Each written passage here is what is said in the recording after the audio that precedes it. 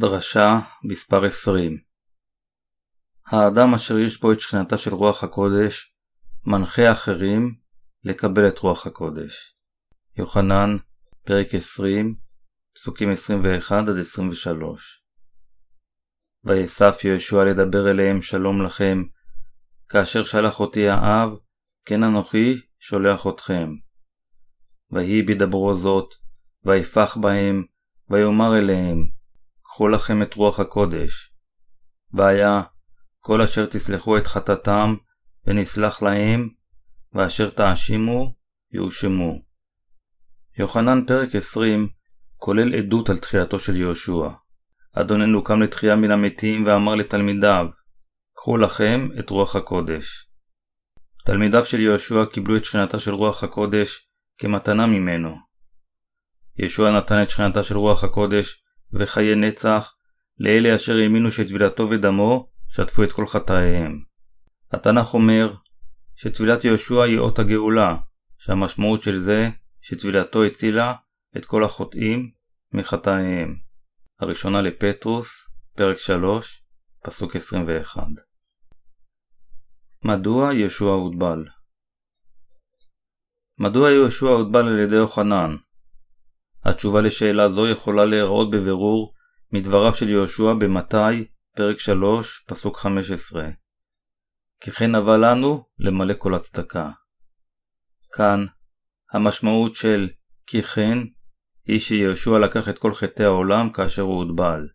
טבילתו התבצעה באותה דרך כמו שמיכת הידיים שנוהלה בזמן הברית הישנה. התוכנית לטבילתו הייתה להעביר את חטאי העולם על יהושע. מהי המשמעות של כל הצדקה? על מה מרמזת המילה נבע? המשמעות של כל הצדקה היא שהלם את יהושע לקחת את כל חטאי העולם באמצעות טבילתו, והמילה נבע מרמזת שכל זה קרה בדרך הראויה והצודקת ביותר בעיניו של האל. יהושע לקח את כל חטאי בני האדם באמצעות טבילתו, ותיאר את כל אלה אשר האמינו בו. יהושע הוטבל ונצלף כדין על חטאיהם. זוהי בשורת גאולת החוטאים. צדיקותו של אלוהים היא מחילת החטאים, אשר מחקה את כל חטאי החוטאים. אם האנשים יבחנו את המסתורים של תביעת יהושע כפי שהיא כתובה במתי פרק 3 פסוקים 13-17, הם יהיו מסוגלים להשיג את מחילת החטאים ואף את רוח הקודש. מה שיהושע עשה בכהונתו הציבורית, טבילתו, צליבתו ותחייתו, היה לספק לנו את הדרך הצדיקה כלפי הגאולה, כפי שנועדה על ידי האל. בדרך זו, יהושע הפך למושיע האמיתי של כל החוטאים. בשורת טבילתו ודמו היא הגאולה אשר שטפה את כל חטאינו. בני האדם יכולים לקבל את רוח הקודש רק כשהם מכירים ומאמינים בבשורת טבילת יהושע ודמו. מכיוון שטבילת יהושע לקחה את כל חטאי העולם, חטאינו הועברו עליו. מותו על הצלב למען בני האדם היה מותי, ותחייתו הייתה תחייתי. טבילת יהושע ודמו על הצלב הם הבשורה של מחילת החטאים ושל קבלת רוח הקודש. אני מקווה שלמדתם את הסיבה לטבילת יהושע ושיש לכם אמונה בבשורה. אם כן, חטאיכם יימחקו ותקבלו את רוח הקודש. מדוע ישוע הוטבל? זה היה כדי לקחת את כל חטאי העולם. כי כן הווה לנו למלא כל הצדקה. מתי, פרק 3, פסוק 15. אמן. הללויה. היום יש המאמינים שדיבור בלשונות יהיו ההוכחה לקבלת רוח הקודש.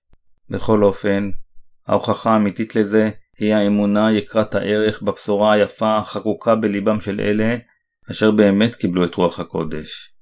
ישוע נתן לתלמידיו את הסמכות למחילת החטאים. והיה כל אשר תסלחו את חטאתם ונסלח להם, ואשר תאשימו והושמו. יוחנן, פרק 20, פסוק 23. זה מרמז שכאשר השליחים לימדו את בשורת המים והרוח, החטאים של כל אלה אשר האזינו והאמינו, נמחלו. בכל אופן, אין המשמעות שהם יכולים למחול על החטאים של כל אחד.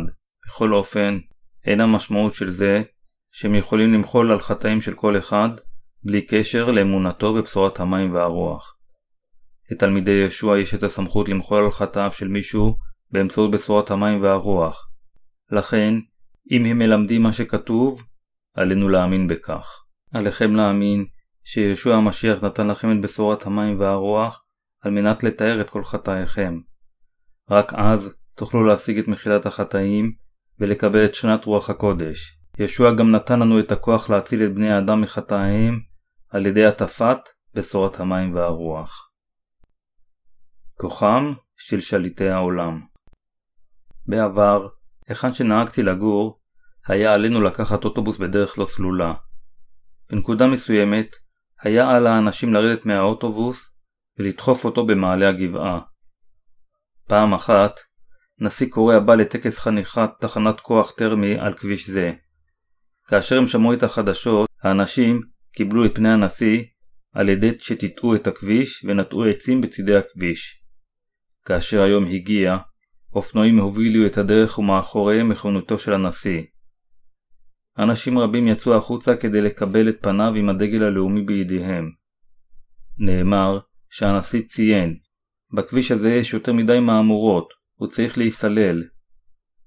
מספר ימים לאחר מכן, הכביש נסלל עם אספלד. מה קרה כאן? הערה אחת מהנשיא הספיקה כדי לגרום לשינוי דרסטי במצבו של הכביש. להוראתו של הנשיא היה כל כך הרבה כוח. בכל אופן, אנו מודעים היטב שבשורת המים והרוח אשר הוענקה לנו על ידי המשיח היא הרבה יותר חזקה.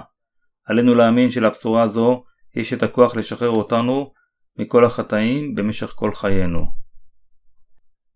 הסמכות האמיתית למחילת החטאים והיה כל אשר תסלחו את חטאתם ונסלח להם, ואשר תאשימו והושמו. תלמידי ישוע לימדו את הבשורה שכל חטאים נמחלו. הם אמרו לאנשים, ישוע מחק את כל חטאי העולם עם טבילתו ודמו. אין ממה לחשוש. אף על פי שאתם מיועדים לחטוא בעתיד, ישוע כבר לקח את כל חטאי היומיום שלכם, ומחק אותם למענכם על הצלב, לאחר שהוטבל בידי יוחנן. ישוע הושיע אתכם. עליכם להאמין בכך. לחוטאים ניתנה מחילה על ידי ששמעו והאמינו בבשורת המים והרוח באמצעות תלמידי יהושע. יהושע העניק לתלמידיו את הסמכות למחול על החטאים באמצעות בשורת המים והרוח. כיוון שתלמידי יהושע לימדו את בשורת המים והרוח לכל האנשים בעולם, המאמינים יכלו לקבל את מחילת החטאים. ישוע העניק להם מתנה זו, ביחד עם הסמכות למחול על החטאים. הרבה אנשים קראו את הספרים אשר הוצאתי לאור בעבר ונגאלו מחטאיהם לאחר שקראו אותם. חלק הודו שהבינו שהמחשת מותו של יהושע על הצלב כתוצאה מטבילתו שלקחה את כל חטאי העולם, מצוטטת, והוא מחולל מפשענו, מדוכא מעוונותינו, מוסר שלומנו עליו, ובחברתו נרפא לנו. ישעיהו, פרק 53, פסוק 5 לאחר תחייתו, ישוע אמר לתלמידיו, קחו לכם את רוח הקודש, והיה כל אשר תסלחו את חטאתם, ונסלח להם, ואשר תאשימו, יאושמו. יוחנן, פרק 20, פסוקים 22-23 ישוע העניק להם את הסמכות למחול על חטאיהם של האנשים. אנו היינו כבולים בבלבול, ריקנות וחטא לפני שהאמנו באמת הזו. בכל אופן, עתה כאשר יש לנו אמונה בתפילת יהושע ודמו, ואנו משוחררים מהחטא, אנו אלה אשר מלמדים את הבשורה לאחרים. יותר מכך, אדוננו נותן לתלמידיו שלווה. אדוננו נתן לנו גם שלווה וגם את ברכת רוח הקודש. על מנת לקבל שלווה ורוח הקודש מאלוהים, עלינו לקבל מחילת חטאים על ידי האמונה בתפילת יהושע ודמו על הצלב. מה שמשחרר אותנו מהחטאים זוהי האמונה בבשורת המים והרוח. זוהי האמונה הרוחנית אשר מביאה לנו ברכה שמימית. אך אמונה שרירותית המבוססת על מחשבותיו של האדם מובילה אותנו לאבדון. עלינו להשיג גאולה על ידי האמונה בבשורת המים והרוח, וכך לקבל את רוח הקודש. על מנת שתהיה לנו אמונה כזו, עלינו לנטוש את מחשבותינו הארציות, ולהפנות את אמונתנו לבשורת המים והרוח. על מנת להיות בעלי אמונה הנחוצה לקבלת רוח הקודש, על האדם לקבל את הבשורה שיהושע הוטבל ונצלב למעננו. כיוון שאנו מאמינים בבשורת המים והרוח, אלוהים סיפק לנו עם מחילת החטאים שלווה ואת שכינת רוח הקודש. הוא נתן לתלמידיו את שכינת רוח הקודש ואת הסמכות למחול על חטאיו של כל אחד אשר מאמין בבשורת המים והרוח. גם אנו קיבלנו את רוח הקודש על ידי האמונה בבשורה הזו. בשורת המים והרוח סייעה גם להרבה אחרים לקבל את אותו הדבר. כאשר אנו מטיפים את הבשורה לשכנינו ולעולם, אלה אשר לוקחים אותה לליבם, מקבלים את רוח הקודש.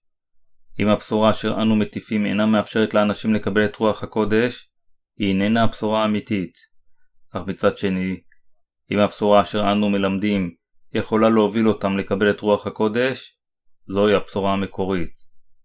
כמה מבורכים ואסירי תודה עלינו להיות כדי לקבל סוג כזה של בשורה. הבשורה אשר מוטפת על ידכם ועל ידי היא כל כך מושלמת ומרוממת. אך למרבה הצער, קשה למצוא היום אדם אשר באמת מכיר ומאמין בבשורה זו. לכן, עלינו להטיף את הבשורה לכל העולם.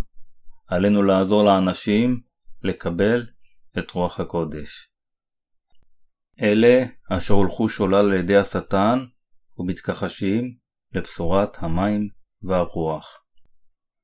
אנו עוזרים אפילו לאלה אשר כבר מאמינים ביהושע.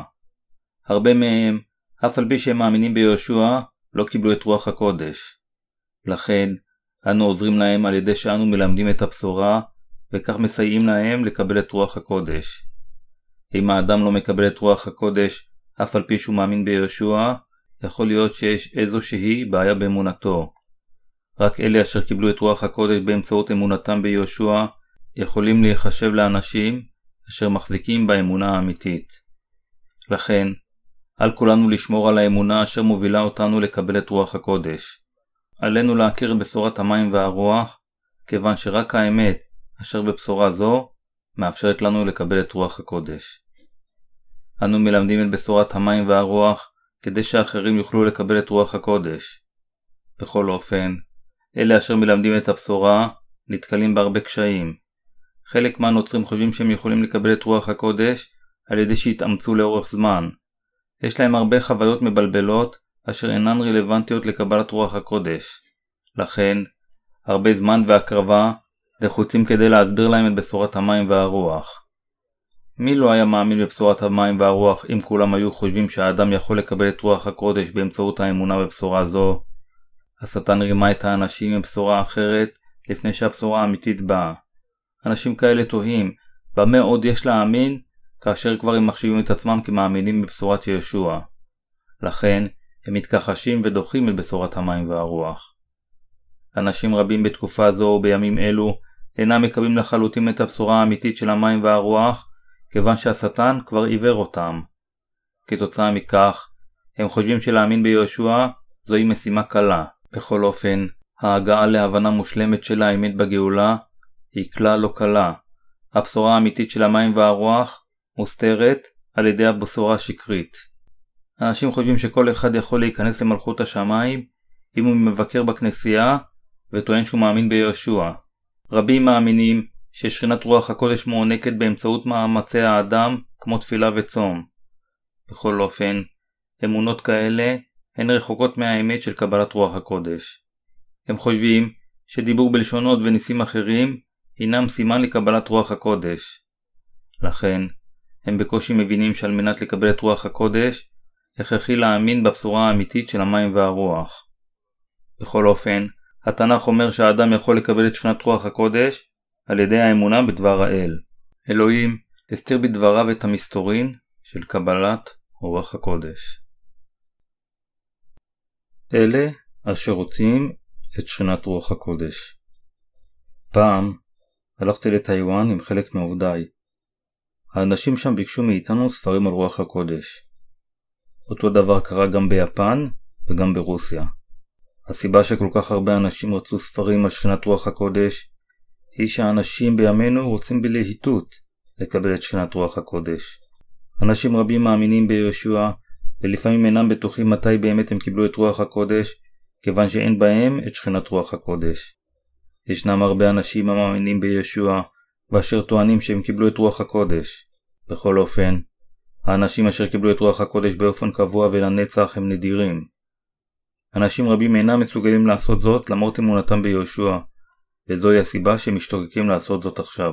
מתוך הנוצרים שבעולם, יש הרבה אנשים אשר חושבים שהם חוו את רוח הקודש.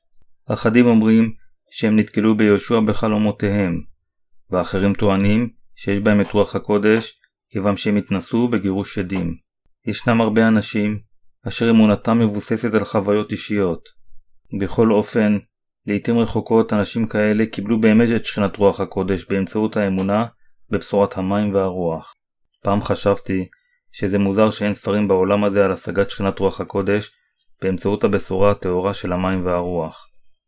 הרבה אנשים מדברים על התנסותם ברוח הקודש, אך מדוע אין ספרים על שכינת רוח הקודש? קשה למצוא ספרים כאלה, אפילו אם תחפשו, בכל מקום בעולם. אלה, אשר בטעות מתעקשים שהם קיבלו את רוח הקודש, מצהירים שהם אפילו פגשו את ישוע בכבודו ובעצמו, וביקרו במלכות השמיים ובגיהנום. הם עומדים על כך שישוע אמר, הגעת לפני זמנך, נשארו לך עוד הרבה דברים לעשות בעולם, אז תמהר בחזרה להיכן שאתה שייך. חוויה כזו היא בלתי אפשרית. בכל אופן, האם ישוע אשר הם פגשו יכול להיות ישוע אמיתי? האם ישוע היה פוגש בהם כאשר יש להם עדיין חטא בליבם? האם ישוע נשאר עם חוטאים? זה נכון שלרוב הנוצרים היום אין את שכינת רוח הקודש, אף על פי שהם שומרים על איזושהי דרגת אמונה ביהושע. לכן, אנו, אלה אשר יש בנו את רוח הקודש, חייבים להפיץ את הבשורה אשר תוביל אחרים לקבל את המתנה הזו. כולם צריכים לקבל את רוח הקודש, ועל מנת לעשות כן, האמונה בבשורת המים והרוח היא הכרחית. רק על ידי האמונה בבשורה, האדם יכול לקבל את רוח הקודש. באמצעות בשורת האמת שאנו כולם מכירים, אנו יכולים לקבל את מתנת רוח הקודש מאלוהים. על כולנו להודות ולהלל את ישוע על שנתן לנו את בשורת המים והרוח. התנסיתי בשמחה של רוח הקודש כאשר היא השפיעה עליי לכתוב ספר זה. כאשר ספר זה יצא לאור, הרבה אנשים יקבלו את שכינת רוח הקודש באמצעות האמונה בבשורת המים והרוח. וקיבלתם את רוח הקודש אחרי אשר האמנתם. מעשה השליחים, פרק 19, פסוק 2 הקיבלתם את רוח הקודש אחרי אשר האמנתם. אמר פאולוס למתעתדים להיות תלמידים באפסוס. אנו חייבים לקבל את רוח הקודש. אני מלמד את הדרך התנ"כית לקבלת רוח הקודש, בדיוק כפי שרוח הקודש מנחה אותי לעשות. כדי לחיות חיים משביעי רצון, עליכם להאמין באמת של שכינת רוח הקודש. היות שזוהי ההזדמנות האחרונה שלכם לקבל את רוח הקודש, עמוק בלבכם. אני נאלץ להפיץ את הבשורה אשר מסייעת לכולם לקבל את רוח הקודש, כיוון שישוע המשיח נתן לי את בשורת המים והרוח, והוריש לי את מתנת רוח הקודש. גם הגויים חייבים להיות בעלי אמונה בבשורת המים והרוח. התנ"ך מספר כיצד תלמידי יהושע אפשרו לאחרים לקבל את שכנתה של רוח הקודש. אפילו הגויים היו צריכים לשמור את אותה אמונה כמו התלמידים, על מנת לקבל את רוח הקודש. נוסף על כך, הגויים היו במיוחד צריכים להיות בעלי אמונה בבשורת המים והרוח, כמו שהשליחים היו, על מנת להיכנס לעולמו של האל. לכן אנו, הגויים, גם חייבים להאמין בבשורה האמיתית על מנת לקבל את רוח הקודש. אלוהים שלח את פטרוס לקרניליוס, אשר היה גוי, על מנת להסביר לו את בשורת המים והרוח, אשר היא הכרחית לקבלת רוח הקודש. המאמינים היהודים תמהו לשמוע שמתנת רוח הקודש ירדה גם על הגויים. כאשר פטרוס חזר לכנסייה אשר בירושלים, לאחר שלימד את בשורת המים והרוח, אלה אשר היו נימולים מתחו עליו ביקורת. אלה אנשים אשר להם עורלה באת, ותאכל איתם לחם. מעשה השליחים, פרק 11, פסוק 3. אך פטרוס הסביר להם הכל מההתחלה. הסברו מתואר היטב במעשה השליחים, פרק 11, פסוקים 5-17. מתפלל הייתי בעיר יפו, וירדם, ויראה מראה והנה כלי כדמות מטפחת בת גדולה, יורד מן השמיים, ותורד בארבע כנפותיה, ותבוא עדי.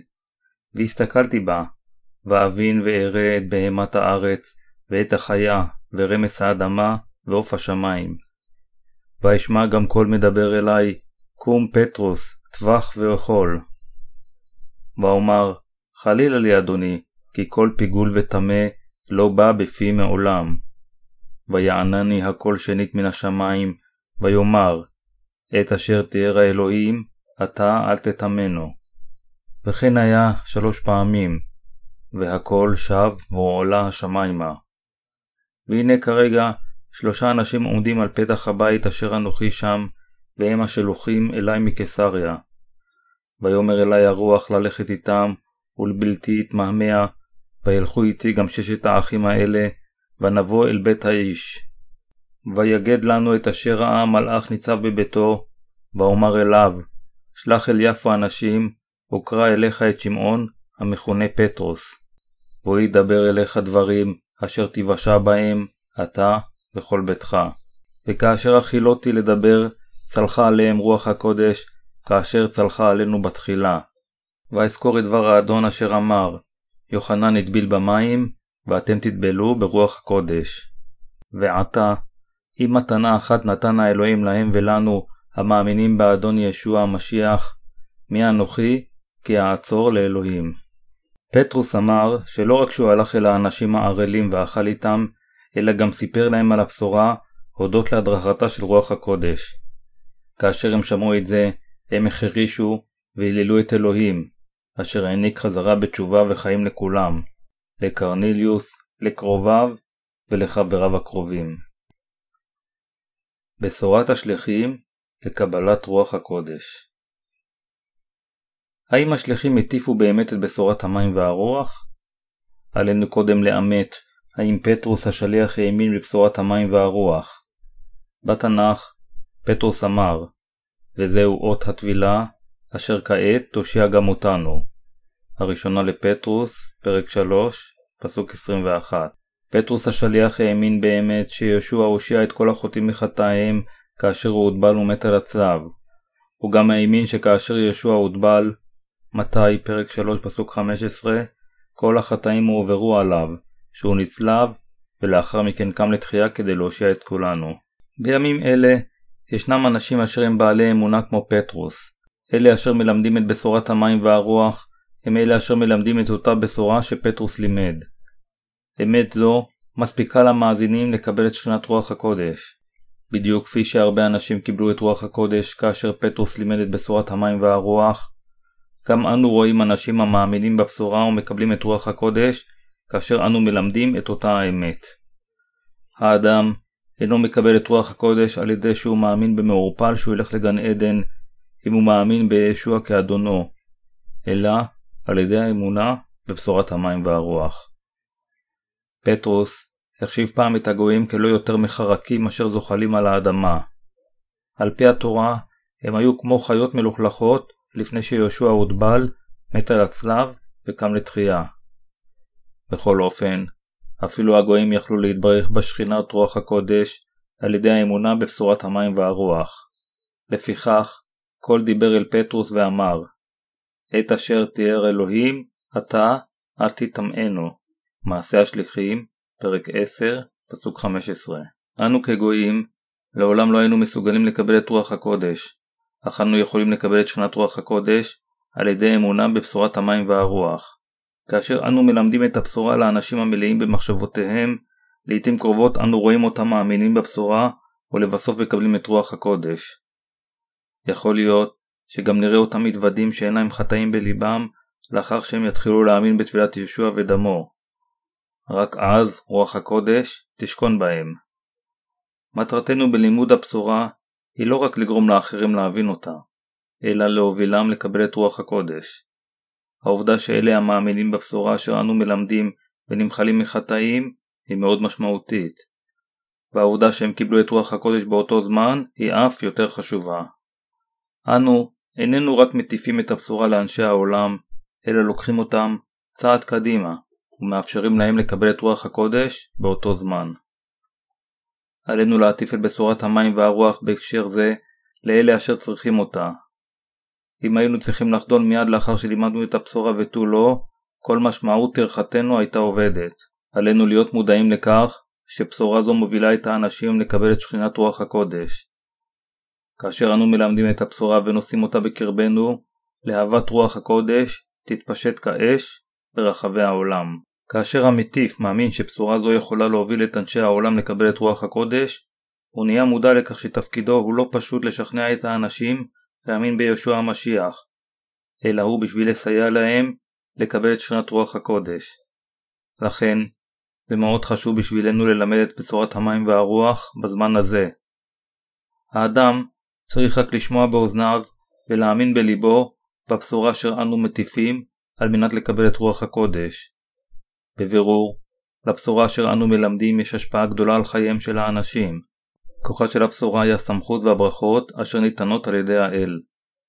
פטרוס היה המטיף של היהודים, בעוד פאולוס היה של הגויים. כאשר פטרוס התפלל על גג הבית, הוא ראה את השמיים נפתחים, וחפץ כמו מטפחת בארבע כנפותיה יורד עליו, ובתוכה היו כל החיות הטמעות אשר התנ"ך אסר לאכול. פטרוס מעולם לא אכל פיגולים ודברים טמאים. בכל אופן, אלוהים הורה לו להרוג ולאכול אותם. פטרוס סירב ואמר, חלילה לי אדוני, כי כל פיגול וטמא לא בא בפי מעולם. והכל דיבר אליו. את אשר תיאר האלוהים, אתה, אל תטמאנו. מה זה מרמז? אלוהים אמר שיהושע שטף את כל חטאי העולם, אפילו של הגויים, כאשר הוא נטבל ומת על הצלב. הכוונה הרוחנית של אלוהים, אשר אמר לו להרוג ולאכול חיות טמאות, הייתה ללמד את פטרוס שאפילו הגויים יכולים להיות ילדיו של אלוהים על ידי האמונה שיהושע נשלח לעולם הזה, הוטבל כדי לקחת את כל החטאים, ונצלב מפני שנשפט עליהם. פטרוס עדיין נהג על פי חוקי התורה, אפילו לאחר שקיבל את הרוח, במקום לראות אותם בעיניים רוחניות של אמונה. אך פטרוס חזר בתשובה והאמין שאלוהים כבר שטף את חטאיהם של הגויים. פטרוס נוכח להבין את השפע שבבשורה היפה יותר ביסודיות. הוא ראה את רוח הקודש נופלת על מאזיניו כאשר הוא לימד את דברי האלוהים. כיצד אנו מבחינים האם המטיפים של היום קיבלו את רוח הקודש או לא? זה תלוי האם הם מקבלים את בשורת המים והרוח או לא. האדם אשר מאמין בבשורה היפה כפי שהיא, כאשר המטיף מטיף את דבר האל, מקבל את שכינת רוח הקודש. רוח הקודש אשר שוכנת בליבו של המטיף, באה גם לשכון בו. המטיף והמאזין התחברו אחד לשני כמו חברי ילדות. הם יראו את אהבתו של אלוהים נמצאת באיש את רעהו. המטיף יראה את המאזין הופך לאחד מאנשי האל על ידי שהוא מקבל בשורת המים והרוח. כאשר אנו מלמדים את הבשורה, אנו יכולים לראות את רוח הקודש שיורדת על המאמינים ברגע שהם מאמינים בבשורת המים והרוח. זוהי אינה התנסות שונה מגאולה. זוהי הסיבה הראשונית מדוע עלינו ללמד את בשורת המים והרוח. הבשורה אשר אנו מטיפים היא זו אשר מובילה את האחרים לקבלת רוח הקודש. אלה אשר יש בהם את שכינת רוח הקודש הם ילדיו של האל. בשורת המים והרוח היא אינה דוקטרינה תאורטית של זרם מסוים, ולכן כאשר אנו מלמדים אותה לאחרים, הם הופכים לבעלי אמונה, מקבלים את רוח הקודש, והופכים לילדיו של אלוהים. איזו ברכה גדולה היא זו, איזו בשורה מדהימה, ועד כמה נפלאה עבודתו. אלה אשר מלמדים את בשורת המים והרוח, עוזרים לבנות את ממלכתו של אלוהים. אנו פשוט מלמדים את הבשורה, אך הם מקבלים את רוח הקודש. אחדים מהאנשים חושבים שלהאמין ביהושע זה דבר אחד, ולקבל את רוח הקודש זה דבר שני. לכן, הנוצרים עדיין מתפללים לרוח הקודש. בכל אופן, התנ"ך אומר שרוח הקודש באה לאלה כאשר הם מאזינים ומאמינים לבשורה אשר מלומדת על ידי משרתיו. אנשים בכל רחבי העולם משתוקקים לרוח הקודש. הבשורה אשר אנו מלמדים מובילה אותם לסיפוק תשוקתם. זוהי הסיבה שמוטלת עלינו האחריות להטיף את הבשורה בכל רחבי העולם. אנו ילדיו ויורשיו של אלוהים אשר נאמנים לתפקידו הכביר. עלינו ללמד את הבשורה עם אמונה, תוך כדי שאנו זוכרים שמשימתנו היא לאפשר לאנשים לקבל את רוח הקודש. בשורת המים והרוח היא משהו אשר על המטיפים באמת להאמין בה לפני שהם מלמדים אותה את האחרים. ואז מאזיניהם יקבלו את רוח הקודש באמצעות אמונתם בבשורה. בדרך זו, אנו יכולים להפיח את החיים החדשים בכל אלה אשר מאמינים בבשורה. מטרתנו היא לגרום להם להיגאל מכוח החושך ולהעביר אותם לממלכת האלוהים. המטיפים מעבירים את החוטאים אשר מיועדים למות מכוח החושך אל מלכות בין האלוהים. זוהי עבודה מאוד חשובה להפוך חוטאים לילדיו של אלוהים. אנשים רבים אינם מכירים את המפתח לקבלת רוח הקודש ומנסים לקבל אותה בכוחות עצמם. בכל אופן, הם יהיו נוכחים לדעת שזה היה לשווא. רק האמונה בבשורה היא חיונית, כיוון שהאמונה משחררת את האדם מכל החטאים. כיצד קיבלתם את רוח הקודש? באמצעות תפילה? או שמא באמצעות צמיחת הידיים? לא, זוהי אינה הדרך. אנו מקבלים את רוח הקודש רק כאשר אנו מאמינים בבשורת המים והרוח. אנו חייבים להתפלל וללמד את הבשורה כך שכל אנשי העולם יוכלו לקבל את רוח הקודש. המילה שליח משמעותה אדם אשר נשלח על ידי אלוהים. מה השליחים עושים? הם מלמדים את בשורת המים והרוח כך שאנשים יוכלו לקבל את רוח הקודש. האם לא תרצו גם אתם לקחת חלק בעבודה זו יחד עמנו? על כולנו להיות בעלי רוח הקודש וללמד עליה את כל האנשים. הללויה. הללו את האמת המוחלטת של הגאולה אשר יהושע נתן לנו כדי לקבל את רוח הקודש.